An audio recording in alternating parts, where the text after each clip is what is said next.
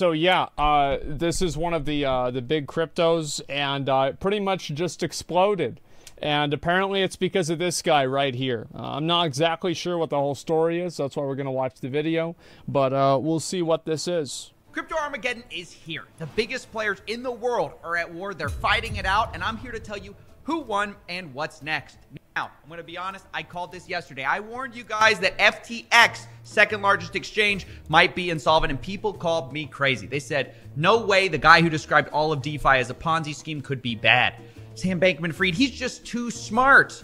FTX, after all, is endorsed by Tom Brady. What could go wrong with another celebrity endorsement? People like I'm honestly always so shocked that people invest so much money into a currency that is backed up and defended by literally nothing.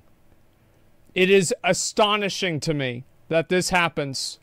Like I, I can understand throwing a couple hundred bucks in there, you know, just to see what happens, just for the memes, you know. Like you buy like a hundred bucks worth of Dogecoin, and you know you set it up for your kids so you can go to college one day. But like to actually put a lot of real money into this, into any of these, is just unbelievable to me. I still cannot believe that people take this seriously at all. Here we go. Larry David backed FTX. Surely your funds are safe. Oh, absolutely. Well, turns out they were actually in danger all along. Who could have guessed? Things are looking very bad. So I'm going to explain to you this entire mess very quick, but bear in mind this is a very dynamic situation. Things are changing by the hour. But let's get into it. Okay, let's Once see. there existed two rival crypto exchanges, Binance and FTX. The number FTX is the one that bought uh, TSM. That's why they're TSM FTX. one and number two crypto exchanges. And their CEOs, CZ and SBF, or Sam Bankman Fried, hate each other.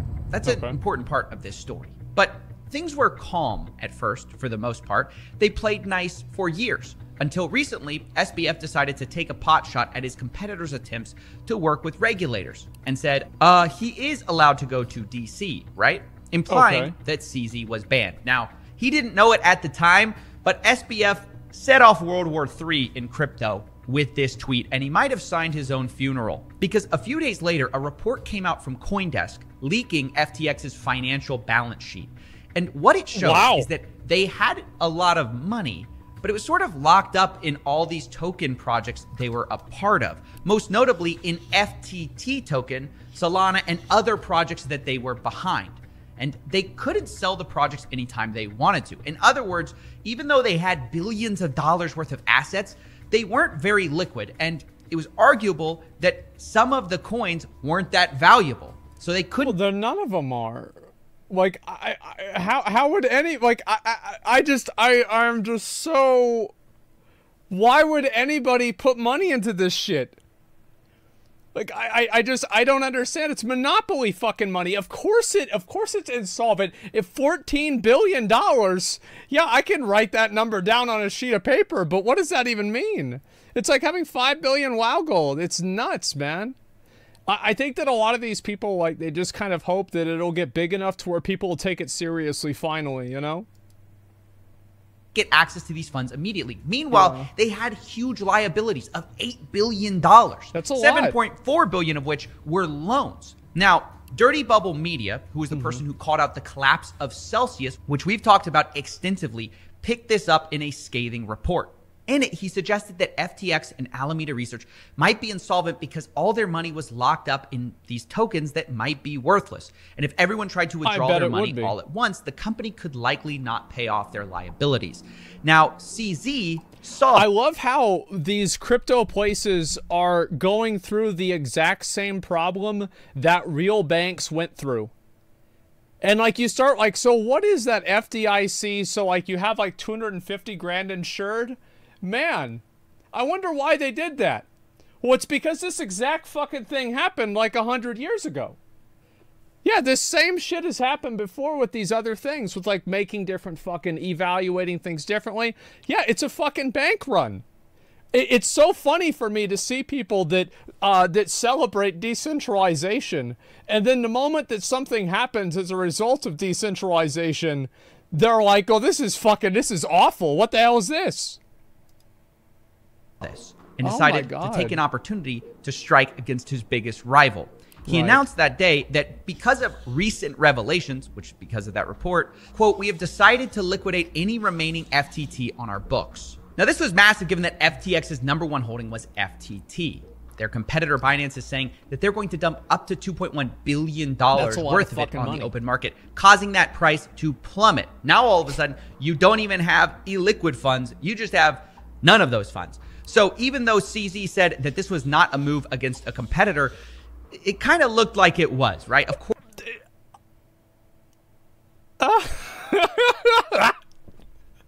He just says he's gonna sell it all, and then everybody else starts selling it because they lose all the confidence in it. Holy fuck, man. Oh, I love this. It's only worth money. You try and trade it for money, then it's not worth money for anymore. I know. Course he's going to say Shocker, that. In reality, he knew what Yeah. he was doing. Now, immediately, Absolutely. this stoked all sorts of fears about the solvency of FTX. Of And the fear spread like wildfire. Is FTX the next Luna? Is FTX the next Celsius? And people started to withdraw funds like crazy. I wonder how many of these it's going to take that literally go down in flames for people to think maybe I shouldn't invest my money in something that's not real.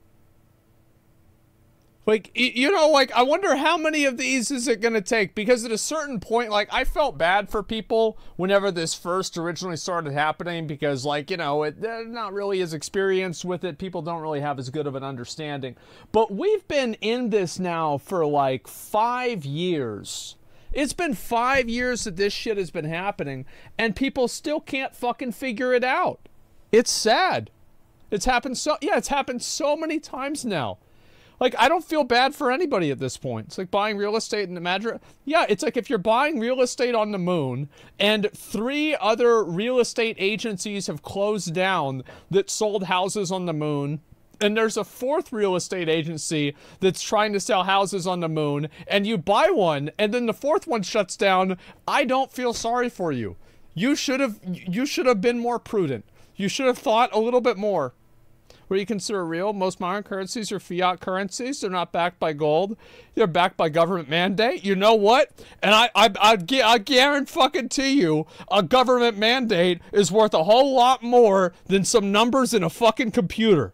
Because the government mandate has AK-47s, M16s, nuclear bombs, and tanks behind it, and the fucking thing in the computer has got more numbers. Yeah, I, I wonder which one is going to be a little bit more stable. Just think about it for like three seconds before you want to use the fiat currency argument. Holy shit. which honestly was the logical move to make. Yeah. The problem with crypto exchanges right now is that because there's no monetary insurance on your money, even if the probability of That's FDIC. You know, that's what you always see that at the bank. This is why. an exchange going bust is less than 1%, you still have to take all your money out because if they do go bust, you lose everything. If it doesn't go bust, you only lose a fraction of a percent on trading fees for Yeah. being cautious. And so there's really nothing to risk by taking your money out, and there's Right. everything to risk by keeping it in. So basically, that means bank runs are Yeah, it's like logically you you don't want to hold. It makes sense. extremely common these days, and a lot of these exchanges Well, I wonder why bank runs are so common. Maybe because a couple of banks burned down. It's like you hear like you know fucking Bank of America burned down, Wells Fargo burned down, and you've got your money in Chase, and somebody says, "Hey, there's a fire next to Chase," and you're like, I- "I'm gonna, I, I, I, I gotta go. I'll be right back, guys. I've, I've gotta, I've, gotta do something at the bank." Of course. they're really not ready for it. In fact, Sam Bankman Fried himself said that a lot of crypto exchanges are secretly insolvent, uh, which was a bit of weird foreshadowing. But at first, I think that's probably true. I, I would agree with that. First, it looked like FTX wouldn't go insolvent. A lot of people said this was very unlikely, since in the past they've looked very strong. And that's what they basically said. They said, look, it's no big deal. This is all FUD, nothing to worry about. Alameda Research, who is closely tied to FTX, actually responded about these uh, leaks in their financial balances. And they said, quote, they have $10 billion worth of assets that aren't reflected there. And that also they have returned most of their loans by now. And Okay. most shocking of all was that they offered CZ to buy all of his FTT off market for $22 each, near the current price. Now, the reason for this is obviously to show that, okay, we're not scared. We've got the money to back this up. And if you really aren't trying to sink us as a competitor, you'll be happy to do this private deal, get a better price, and not impact our price. It would save both parties a lot of headache. But unsurprisingly, because these guys hate each other, CZ wasn't having it. He said, Well, obviously, I mean, because you've got to think about. So there's two big companies, and it's like if the other company burns down, well, then everybody else is going to go to your company. So it really doesn't even have to be any sort of a big conspiracy. It just has to be people acting in their in their own self-interest. he was going to stay in the free market, signaling that he fully intended to squash the price of FTT. And Yeah. he did.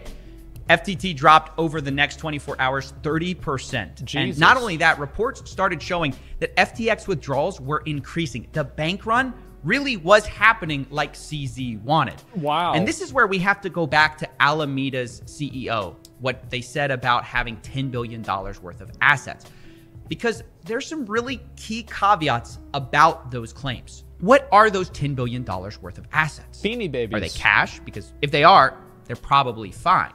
But if there's something NFTs. like more FTT token or more of Sam's other projects that he can't sell, well, that's going to be a significant problem for them. When Isn't it crazy that these people have a balance sheet full of fake money and it's in the billions of dollars?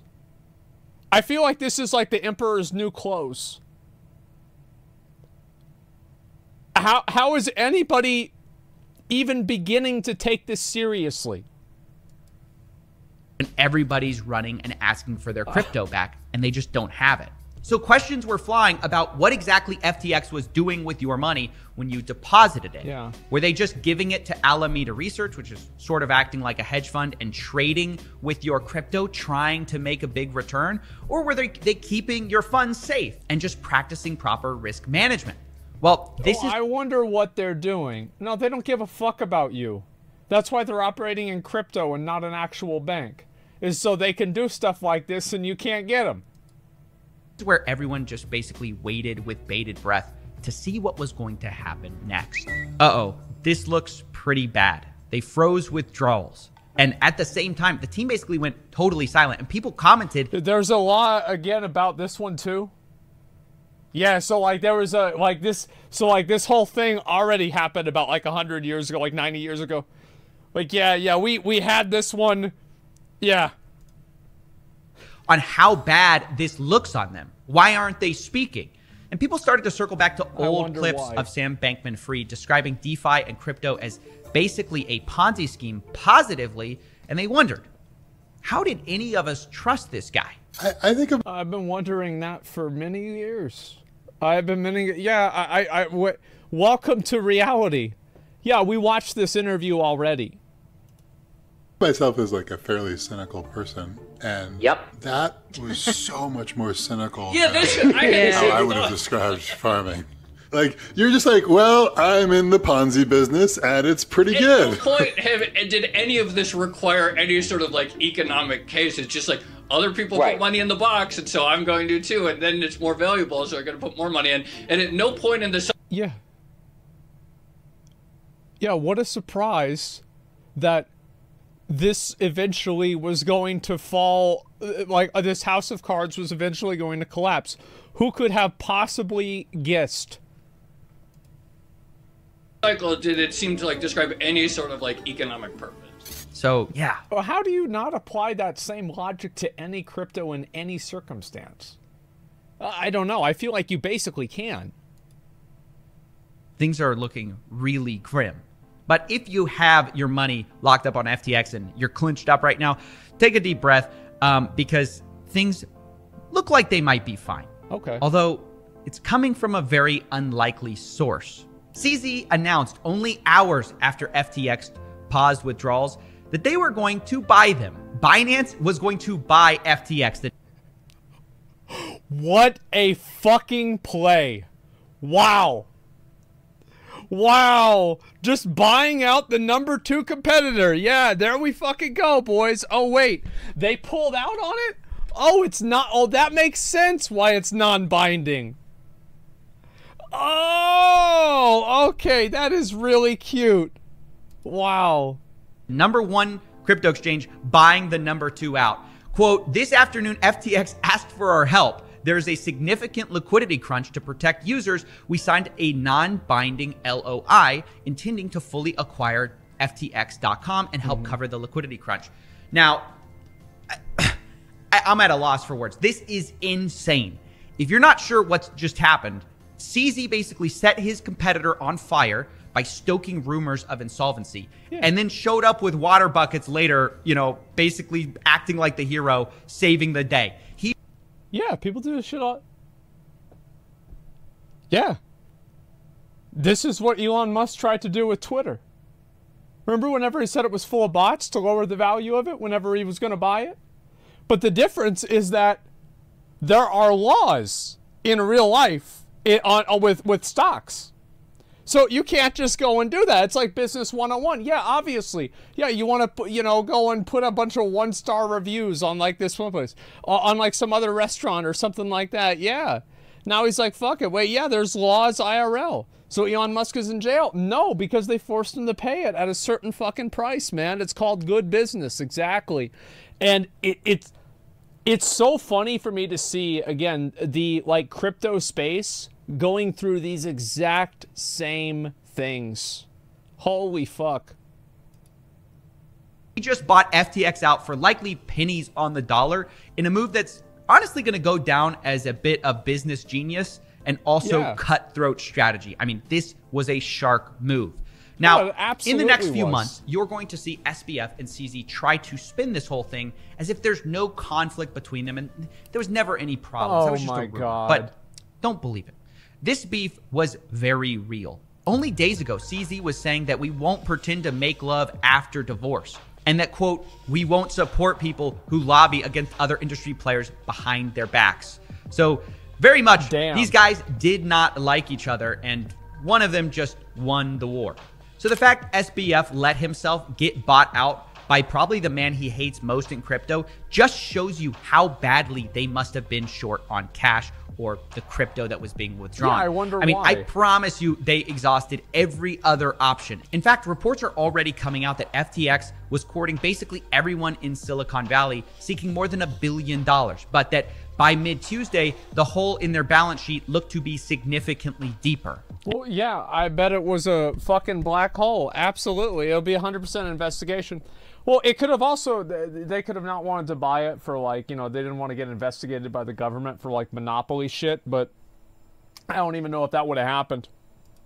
And in the end, they had to sell out to their biggest enemy. Now, what does all of this mean? Because for one, this represents a huge centralization in the crypto space. You know, everyone wants to be decentralized. Well, the number one. The first thing that something that's decentralized does is it centralizes itself. That's why every single time that you have a quote free market, every time this fucking happens, you have somebody with a lot of resources in one way or another that comes and controls it and makes it not free anymore. This is uh, this is a mirage. Every time that you get closer to it, you just realize that it's farther away. On buying out the number two is sort of a big problem if that's your goal. There also remain huge questions like how they could have been out billions of dollars in the first place and how exactly they were safeguarding customer funds if suddenly they find themselves at a multi billion dollar hole in their balance sheet after people actually look to get their money out. It seems to be yet another lesson that you should not trust these crypto exchanges as far as you can throw them.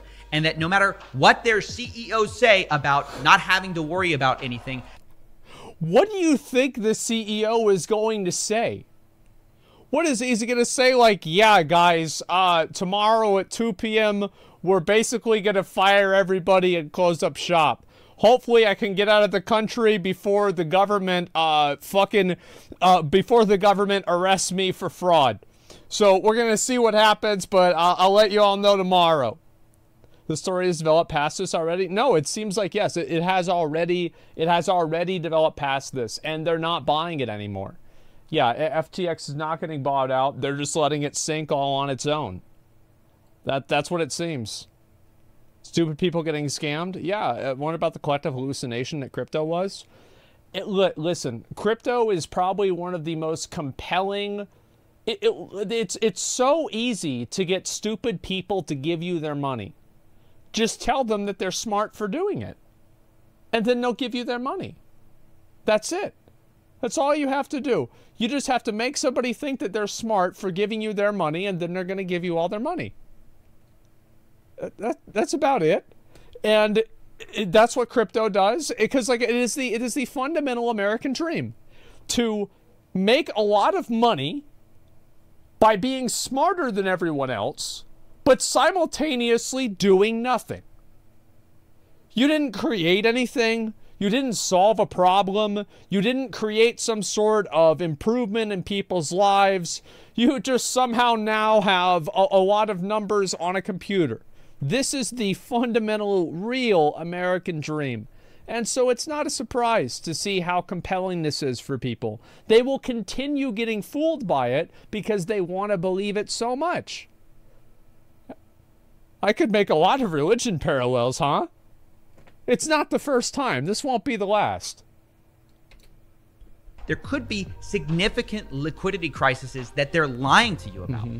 And on that note, I want to remind you that this deal is non binding, and Binance can get out if the due diligence doesn't pan out or if they just don't want to do it. So, if you're invested in FTX and didn't get your money out when I and others started telling you guys that uh, they were likely to be insolvent, it's not time to relax. Binance isn't necessarily going to save you. Yeah, they didn't. And you should explore all your options because your funds might still be in danger if this deal doesn't work they out. are. As for FTX US, I have no idea what's going on with you guys. As far as I know, they just bought out FTX.com, although the deal is still pending. So who knows what's going on with that. This is just a wild end to one of the craziest weeks of crypto. World War III basically broke out, and a winner was decided.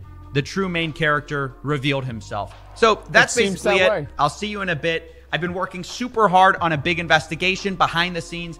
I'll tell you guys more about that later, but uh, just wanted to keep you up in the loop. All right, see ya. Let me go ahead and link you guys this video. CoffeeZilla makes a million of these fucking things. I love seeing them, man. Oh my god. I still have money in the FTX app. Do I need to move it ASAP?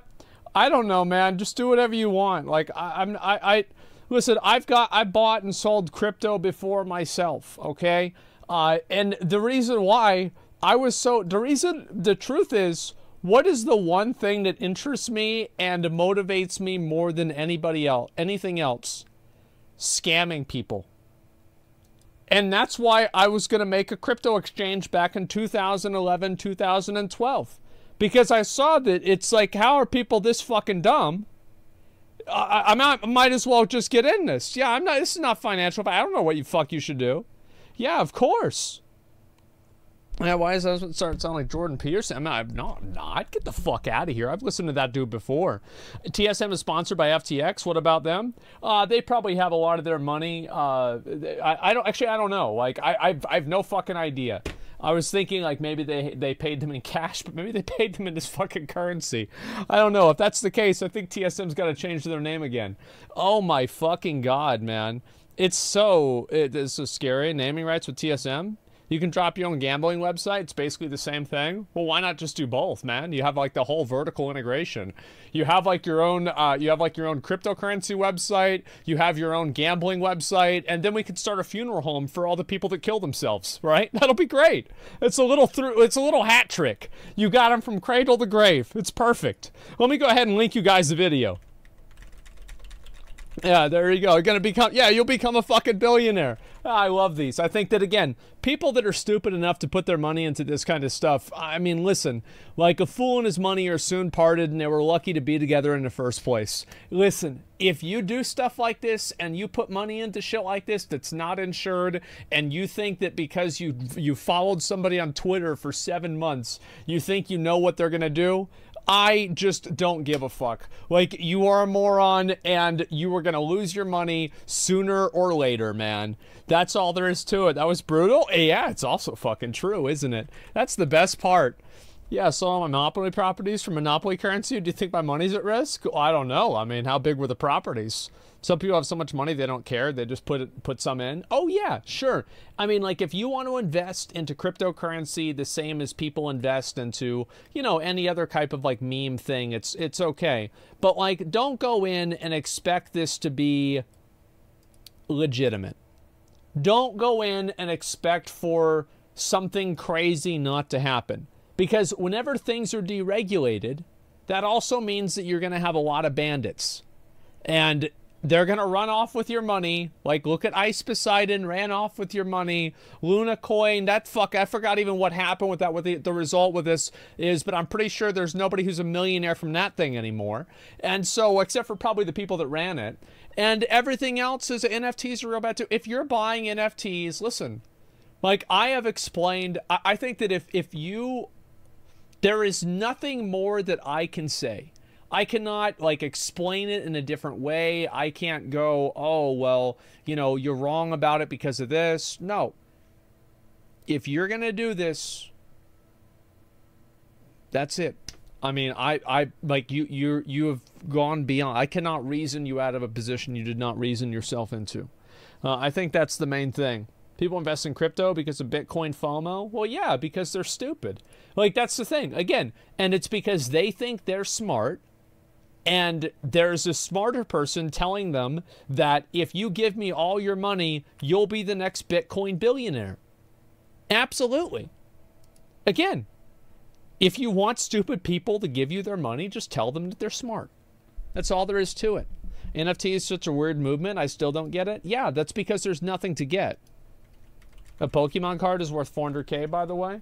Yeah, because it's an actual physical fucking object. The, the, the difference between Pokemon cards and things like this is that at least a Pokemon card is a physical object. The, the fundamental digital scarcity is a non sequitur.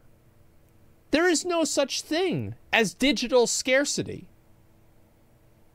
There's no reason why there can't just be two of something. That's the whole good thing about digital stuff is because you can just have as many of them as you want. So at any point where there is any value applied to something that is digital, you have now entered the realm outside of reality. The Feldrake, yeah. Not trying to be a fuckboy, but given your business education, knowing you're educated, core tech blockchain disrupts modern fintech. First time. Um, uh, in which is the cortex. Uh, I don't know what. What are you talking about? Are you talking about like? I don't care. Are you thinking? Is this one of those things where a crypto person thinks that it's because the banks are trying to make crypto look bad, or something like this? I'm just kind of confused about this. Yeah, is it like, oh, you know, mainstream finance is trying to shit on crypto or something? I, I have no idea, man as intelligent can be, it won't be in all directions. Well, the thing is that it doesn't take a fucking genius to imagine that in currency with no fucking backing, no regulation, and no accountability can immediately go belly up at any moment and you have no control over it whatsoever. You don't have to be a fucking genius to figure this out. You're wrong on this. Banks are using the same technology because it works cheaper than traditional methods. I don't give a fuck. I, I I, don't care. I don't care what technology the banks are using. I'm saying that if you buy one of these fucking coins that's set up by one of these guys and you lose all your money, you had it coming. That's all I'm saying. I have zero fucking sympathy for these kinds of people, man. I'm going to be honest. Zero fucking sympathy.